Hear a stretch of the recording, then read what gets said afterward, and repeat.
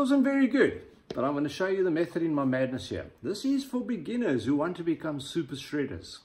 Now, I don't actually want to become a super shredder, but I want to share my breakthroughs with you in what I do believe you're going to have to go through to become a super shredder. Because I know a lot of you out there have that uh,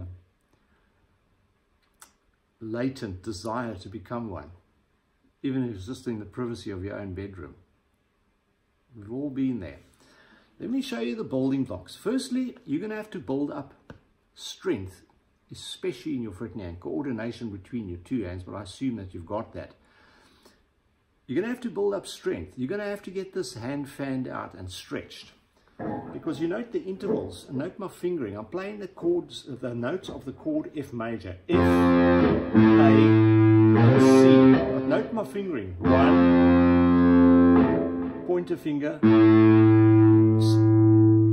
second finger or middle finger, and then pinky. F, A, and C. So now you know the notes that make up the triad of a major chord. I'm basing that exercise out of flat fifth intervals from F to B, from B to F, the flat fifth interval, from F to B again, the flat fifth interval, you can hear that devil's notice referred to, to F again, the compensation between the G and the B string, and then back to B, from F to B.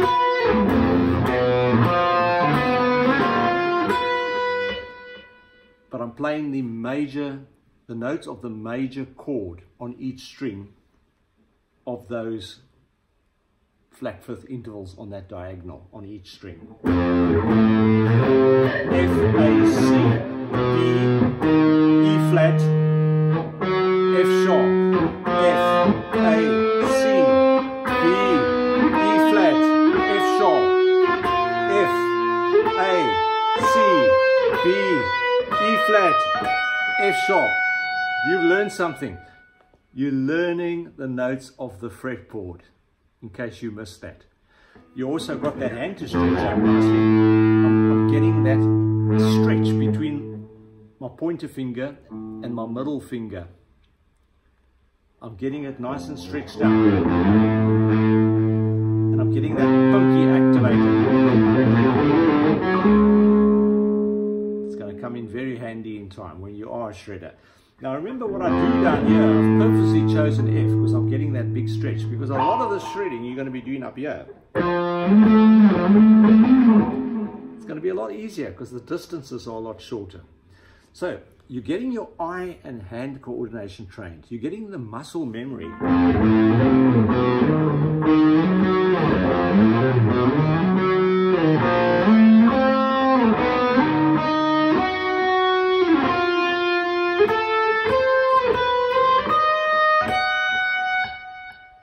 You're getting to know the fretboard and you're getting your brain trained. And slowly, if you do it often enough, you're going to get this ability. It's not music, but you're getting this physical ability to do these things.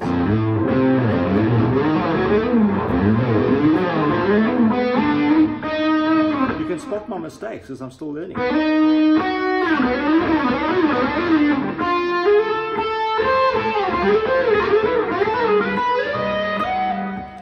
but I know what I'm targeting. Even though I'm not good at it. I only started this this morning, but you can see that I'm, I can, you can see that I know when I make a mistake because I'm learning the fretboard. Not that long ago, I wouldn't have been able to tell you that's an F at random. And that's an A.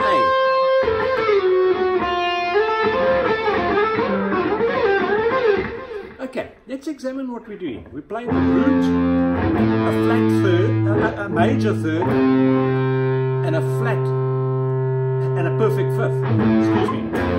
F is one, three, major third, and five, the perfect fifth. And I'm then playing it in B. Root, major third, perfect fifth, root, major third, perfect fifth, etc. B, E flat, F sharp. I wouldn't have been able to tell you that at random if it wasn't for this exercise and other exercises I do. Okay, but I kid you not. Now remember, a lot of the stuff I'm showing you, you're going to be doing up here. Whether you get it right down here, you're going to be a lot, and you, you take the same theory up here above the 12th fret, and you're going to fly, man. Okay, so now root, major third, perfect fifth. Now, you do know about intervals, I take it. If you don't, check my channel, anything where I mention where I'm sitting in a horizontal position like this, I'm giving lessons. If I'm standing vertical behind a microphone, I'm howling like a wolf, I'm having fun. There's a lot of jams. I've got over 1,400 videos on my channel.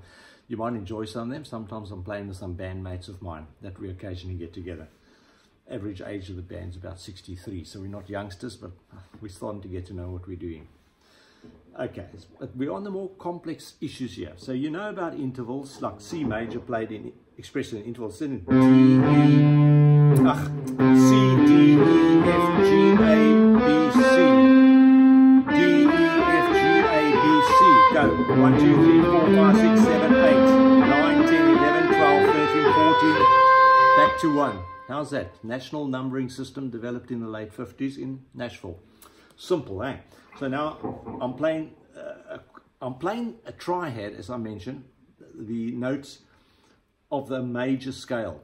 And the, the triad notes of a major scale is one, major third, perfect fifth. And I'm playing it on one string, which gives us this interesting observation. How many spaces are there between the one and the perfect third? There are three, three blank frets. That gives you a major third interval. One, two, three spaces, major third interval. One, two blanks.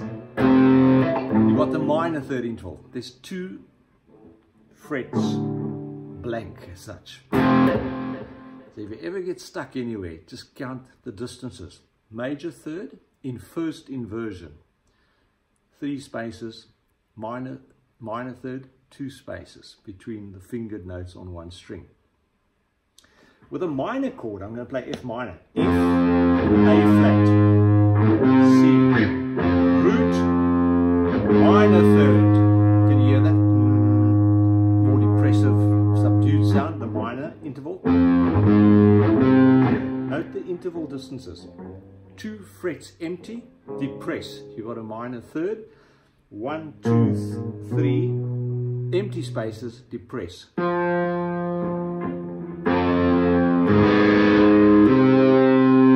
minor and it's all glory. B minor, skip two, skip three. Now you can play major and minor chords on one string, anywhere, as long as you know where you're starting. I'm going to start on D sharp or E flat one, I want to play uh, I want to play E flat minor. One, two. Excuse me, it's C sharp. C sharp minor. One, two, depress. One, two, three, depress.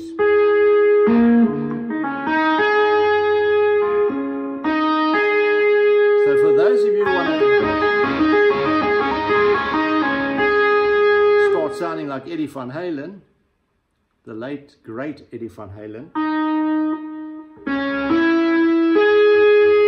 Me, I made a mistake there. I didn't count properly, did I? One, two, one, two, three. Clever, eh? I'm starting at C sharp there on the G string. Two, minor third interval. One, two, three. Perfect fifth, fifth interval. In the first inversion. If I played, for example, up here, and I start at G, because there's G there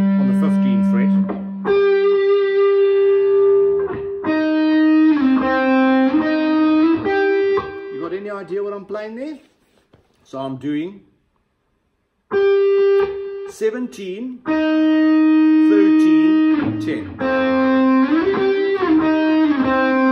How about I give you a clue? I just played you C minor, but I started on a G note. E flat, and C. I've played the third inversion I've done this before, but for your benefit, if you haven't watched my other videos and you happen to click on this segment of this video, it is so important. G, E flat, C. You are playing C minor. There's C, E flat, G. You write your triads out. And you know that C, E flat, G is C minor because you know, because you're just going to memorize it once you've counted it out the way I've explained to you. You know that C, E, G is C major. There's C.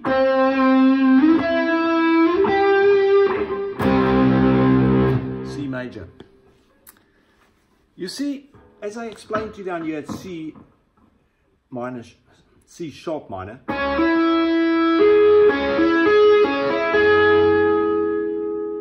You're not just following some other guy's video and copying his hands where his hands are. You've now got a mechanism to work it out. I have stressed to you in previous videos that you need to know all on a 22 fret guitar. There are, you can do it like this. There's six strings and half of 22 is 11. Are you following me here? You know that 6 times 11 is 66 and 66 and 66 is 132. You don't have to be a genius at mathematics here, okay? Does that make sense to you? I've got a 22 fret guitar here and six strings. Well, I can go six times 22 is 132, but what do I say? Why don't I go half of 22 is 11 times six?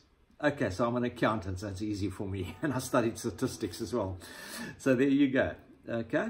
Um, 11 times 6 is 66. And then you can say to yourself, in the next octave, you've got another 66 depressible notes on a guitar. You've got 132 depressible notes on a 22 fret guitar. Remember that. It's because when you look at this thing, if you see it as a bunch of dots, you could argue to me that to know the 132 depressible notes could be impossible to learn, but hopefully by now you know it's not. Because if you want to be a super shredder, you need to know where every note is. But it's simple.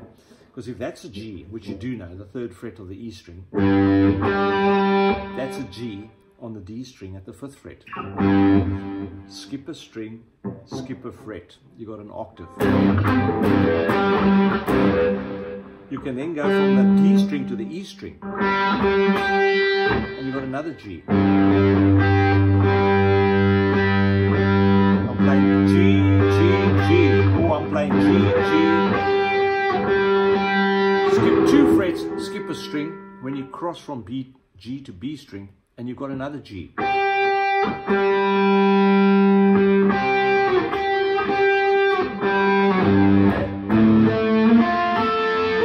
Know where these things are. It's simple. There's F sharp.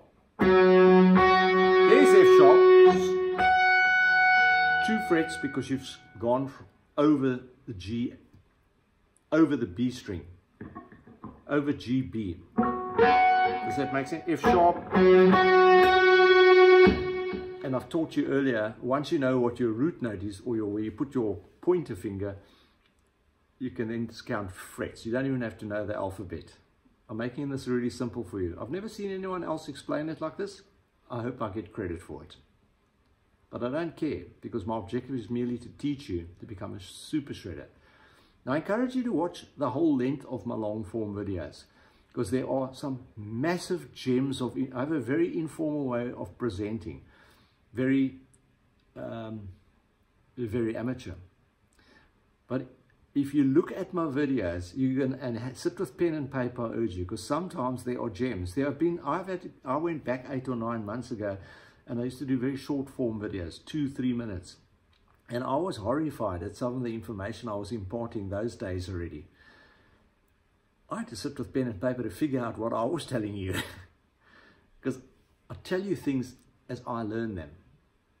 Because I have so much joy from, from this instrument. So let's, let's try that. So if you ever feel like you're in a bit of a doozy, just put the guitar down, go make yourself a cup of coffee, or whatever you do, and come back to it. But stay off the cans because uh, you're not going to be that good. you might think you're good, but if you record yourself, you'll be quite horrified what's coming out of you. music comes out your brain. You know, the moment you start tampering with your brains with substances, you're not going to get the right music. So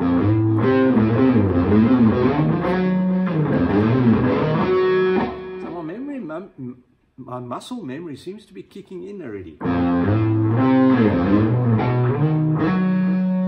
not, not only that exercise, I do other ones.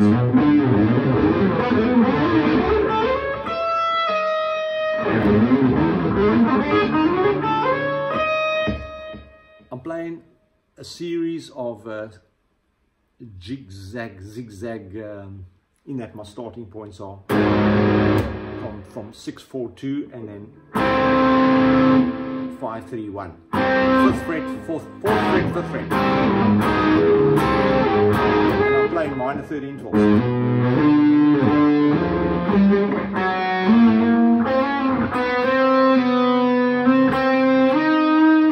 I'm not concentrating because I'm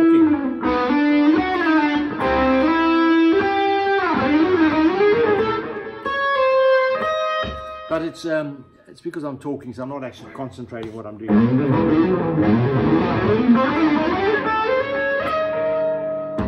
Echo on Allan Holdsworth, you know, or Alfred Hitchcock movie, you might get a role. you might have got a role 55 years ago as the uh, uh, score writer. So uh, very exciting stuff to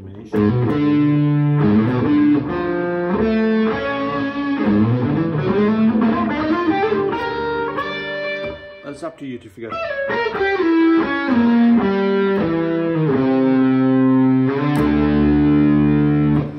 You know, just work little things out for yourself, whatever pleases your ear. Um,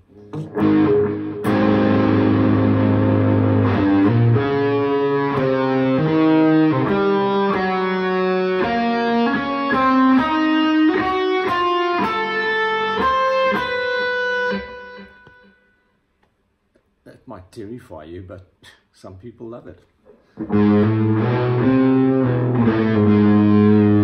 That scale is one of the most popular amongst young people these days, the harmonic minor scale. Now let me tell you if you don't know scales, or you're merely in an A minor scale, you're merely adding what is referred to as a raised seventh, which I find a misnomer. I'm depressing the A, a note there on the fifth fret of the E string. A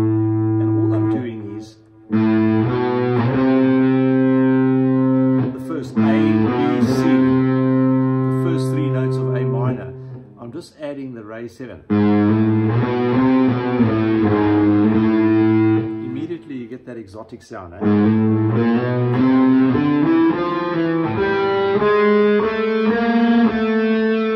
There's the octave of that note. There's the A. And then you can play the the flat second, which takes it into Phrygian territory.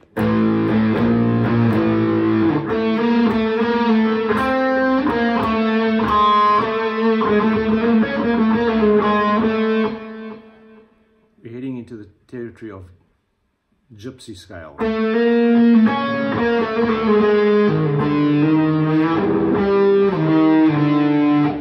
Phrygian, Phrygian dominant. It's got a major third interval there.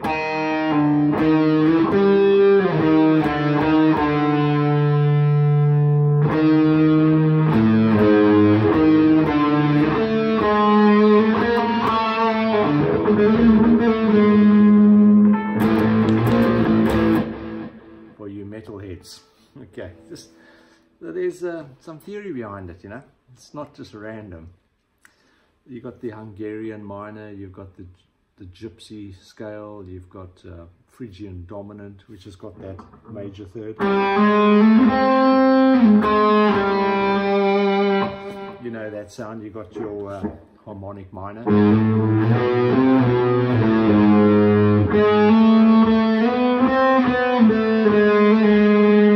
Just played the same thing in two octaves four notes of uh, A harmonic minor in two octaves.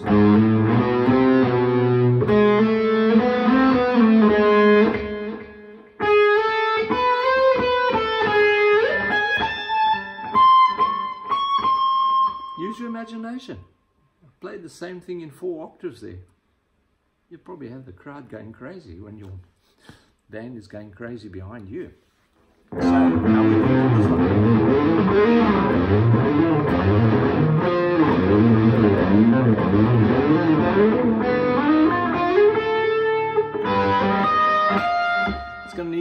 work as you can see and therefore I'm telling you you've got to put the work into these things. Now we spoke about the triads earlier. One, two, three and one flat, three, five.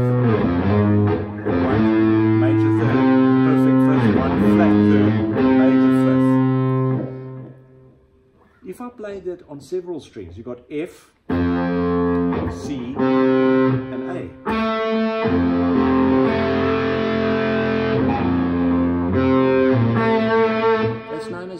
triad. That's F major. So is this. F, C, F, C, A. Root, perfect fifth. Major, major third is A. F minor triad.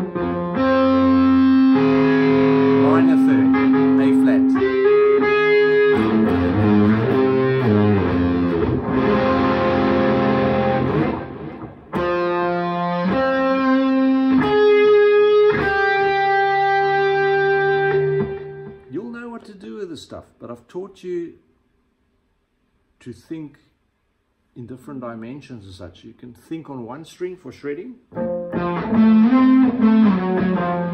So there's our F major here at the 13th fret. F, A, and C. So if I played C, A, F, you know what I've just done. I've played F major, but in the third inversion, because I started on the fifth.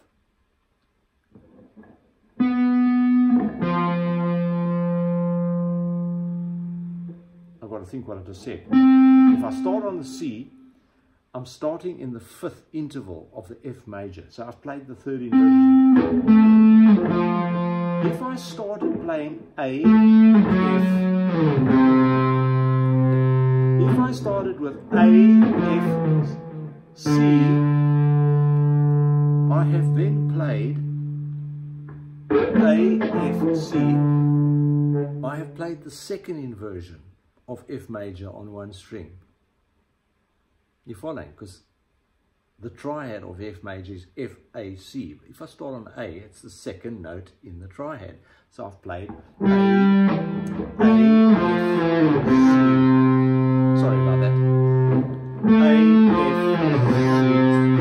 I'm sitting, because I don't play guitar like this. I'm, I'm doing this for demonstration purposes. I know there's uh, super virtuosos who play like this, but it's not very comfortable for me.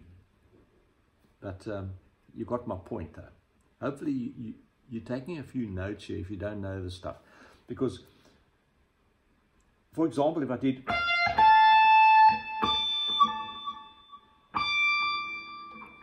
I'm playing F, A and D. Now what the hell did I play? Well, go back to counting the spaces. One, two, three. So I've got something like F to an A is a major third interval, but then I've got one, two, three, four, five. Now we're getting into different territory. This is important. That note there is a D, the 22nd fret. That's an A.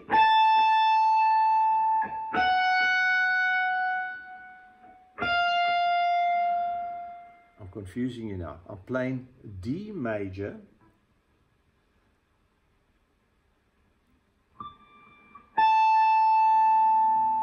Root fifth.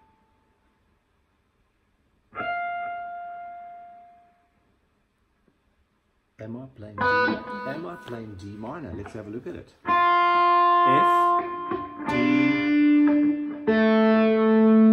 I play D minor.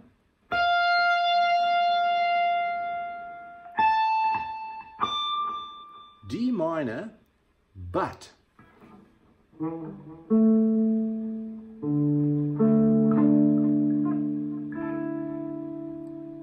Which inversion of D minor? That's the perfect fifth.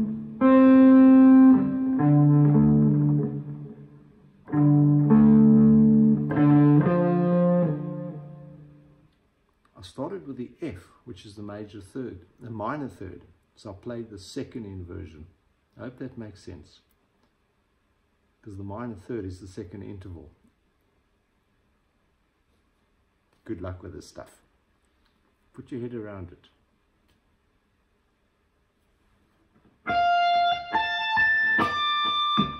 D minor.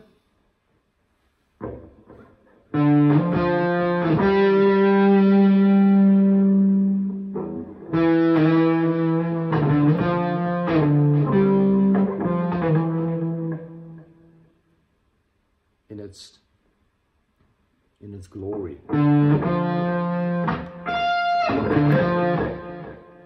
Second inversion. you follow, no? D, F, A. But I played it F, A, D. D minor, second inversion, because I played the minor third interval first. I went nice and slowly there, so that you had time to think about this. I really appreciate this. So, as I've told you, there's several factors that um, go into into this, and one of them is time, and the other one you could argue is distance. Now, while we're talking about distance, you want to program your muscle memory and your brain about intervals. So you now know that that is a major third interval from F to A. Practice doing it from F to A and then play the G to the major third interval. But use your pointer finger and your middle finger.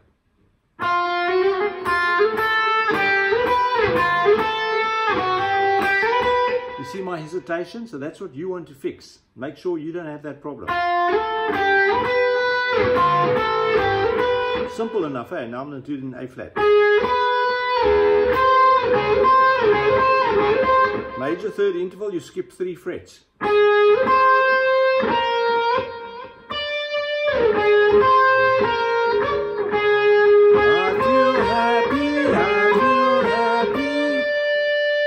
Make sure you can do that fast. You see?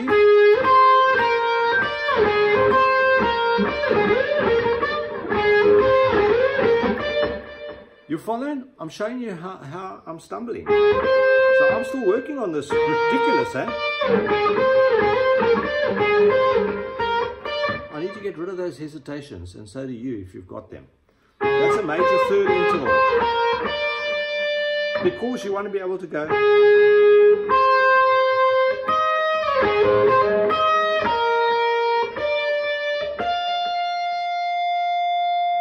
A flat major to B flat major.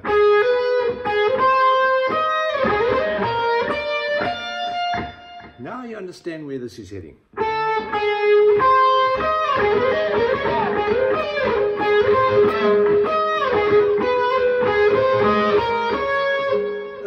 One. Because I'm making mistakes, therefore it's good. The more mistakes you make, the better you're going to become. Because you only learn from your mistakes. Take a kid's hand and put it in the fire. See if the kid will then voluntarily go put his hand back in the fire. You got to do this, people.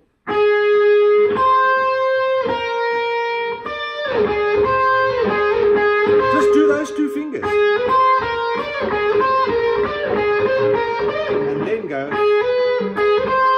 Still make mistakes.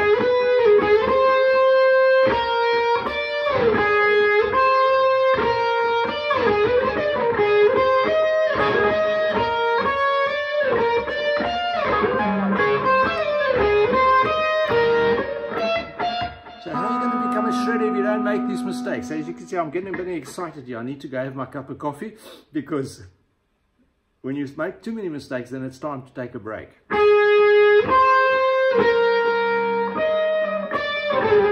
You see, your brain gets overloaded. Now, I can guarantee you, if I came back in about 10 minutes, I'd play it a lot better. I guarantee you, because I can play it quite well. I know I can.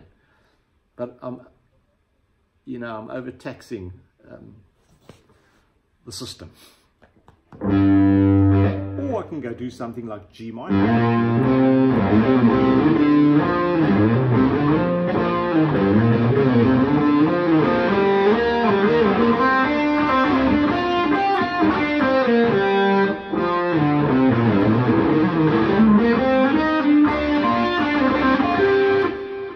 See I've had enough because I'm making mistakes on things that I can actually do quite well. That's G minor pentatonic, three notes per string.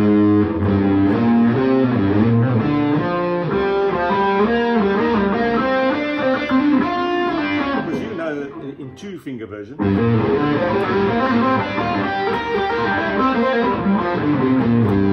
Now you add, you're taking, that's position one. We're going to add position two to it.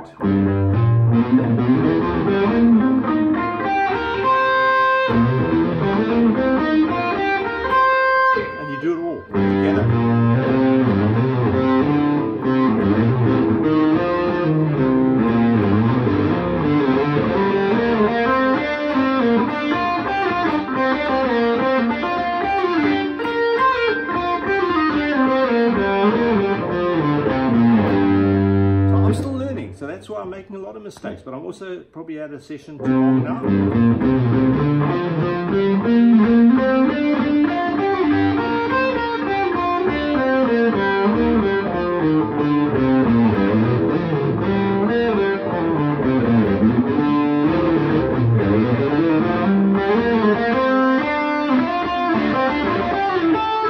Um, you know, I advocate that you get used to using these these three fingers. Get used to using them.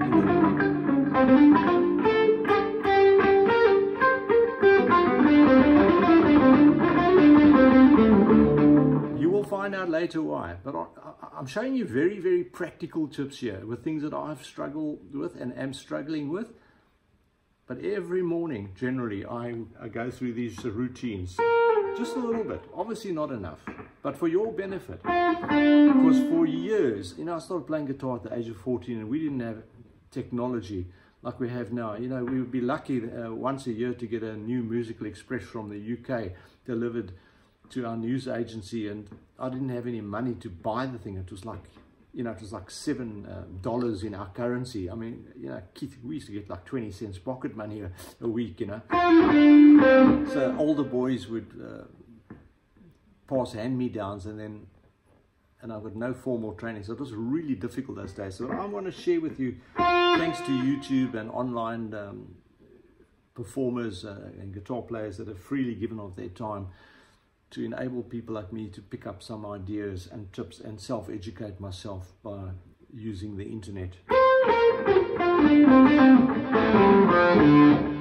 I'm certainly not the world's best guitarist, but I, but I actually can play. Uh, but I, I'm actually showing you my personal struggle to improve my shredding.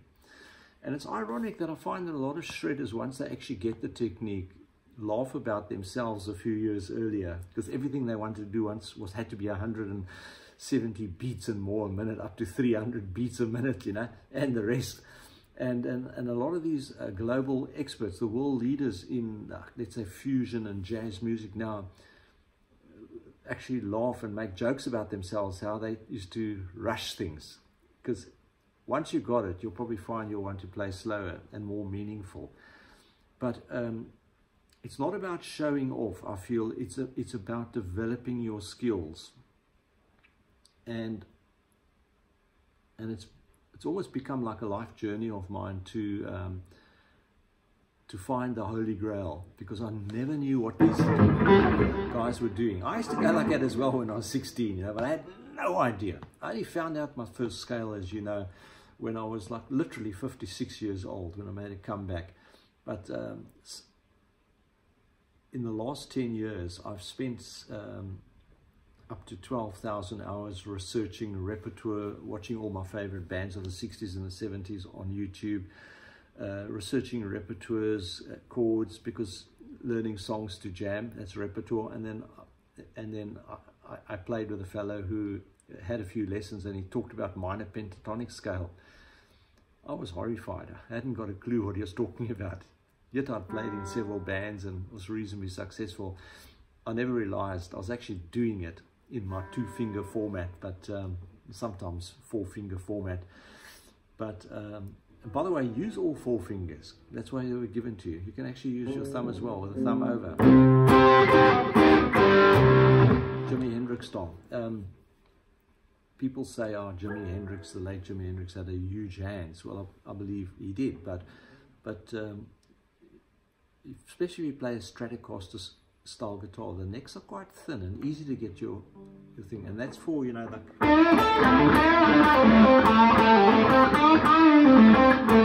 Yeah, your blues and rock. Or when you want to start getting into three finger stuff, you go thumb, thumb behind. So you, Keep your hand nice and loose and flexible. You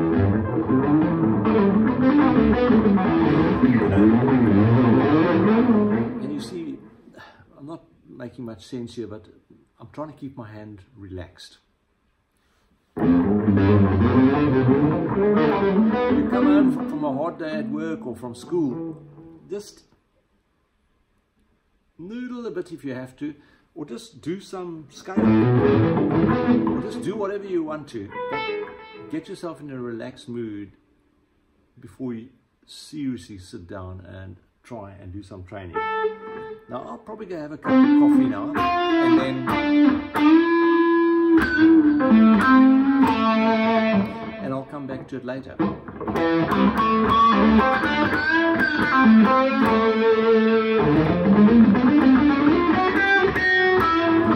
You know, with these um, shredder style licks, you don't want to do them all the time. You want to um, just do a sudden speed burst.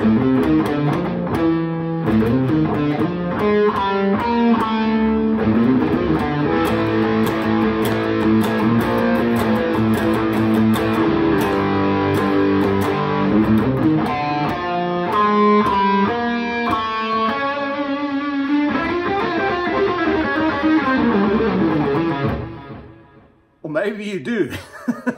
but that's, that's, that's up to you to make the next generation of music. I grew up in a different era. But like I said in my other videos, and maybe I said it in this one, I'm tired of looking at these youngsters, and sometimes not so youngsters, who absolutely tear these fretboards up. Like, you know what I mean? And, and they, just, no.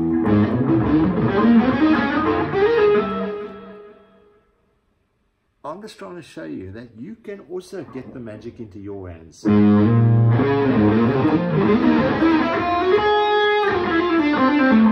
lot of these sort of things are based on licks of the late Allan Holdsworth that I've uh, tried to learn.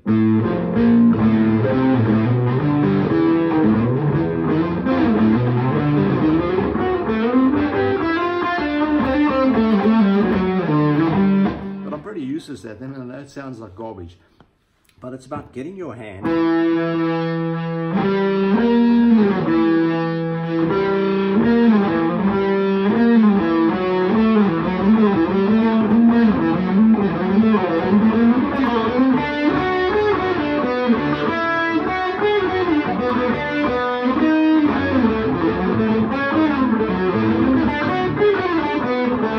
Does that make sense to you? I hope it does.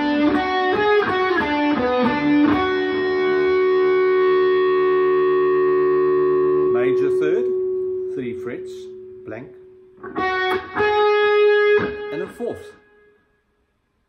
Or is it a flat five? So I'm coming out of D.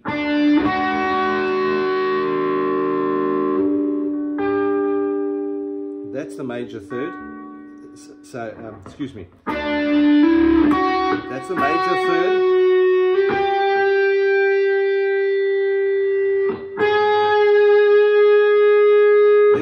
That as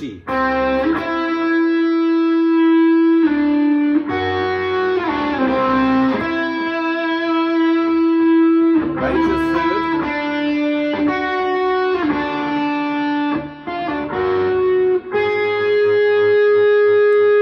An A flat to a D note is the flat five.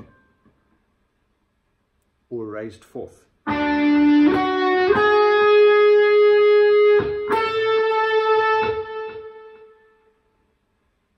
That's the fifth.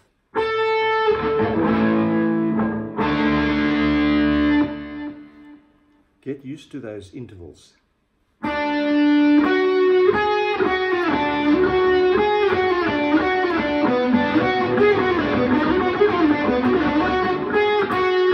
If you want to. But you can hear that sound, it's pretty special.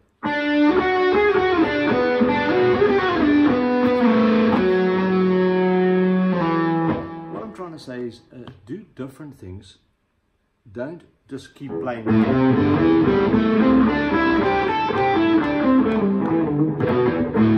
Just, I know this sounds like garbage, but if you concentrate and use your ears and you listen to some Allan Holdsworth music, you know, when I first heard it, I was like, what the? And that was just, a, what, four years ago, because I, I grew up under a rock, like I told you. So just, you know, that sound shocked the people in the Middle Ages, eh?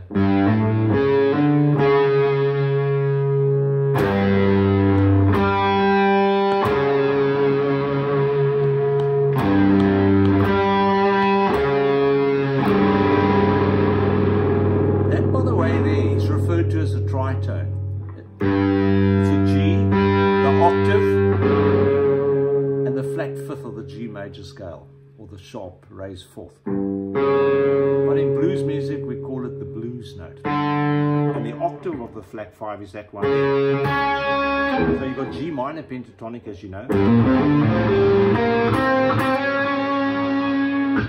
And the raised fourth or flat fifth.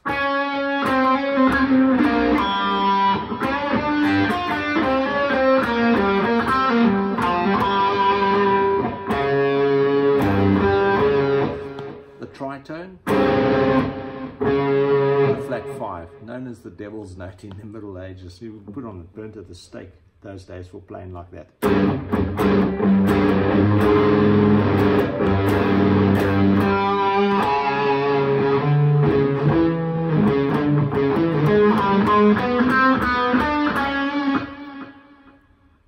You can see I'm, my ears leaning towards going for the flat notes. What I mean by flat, you got one, flat two, two, flat three, three, four. There is no flat four. You got raised four or flat five, five. Then you got flat six, six, flat seven, seven. Those are the intervals, all 12 of them. You got counted. Good luck with your shredding journey.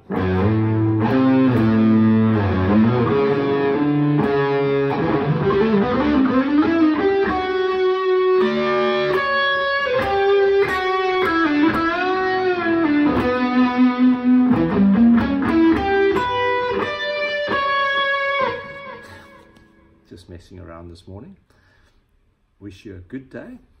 It's um, seven more days to Christmas. And if you happen to have a break, I wish you a happy break, a peaceful break, a restful break, regardless of your goals and beliefs. I wish much peace and happiness upon you all, and I thank you for watching my channel, which is growing very nicely from six subscribers. I know you hate this part of the video, from six subscribers to 518 this morning and I'm very, very blessed. Christmas has come in advance for me. Um, you know, I close these videos off. If you happened to be at school, send the whole school to me.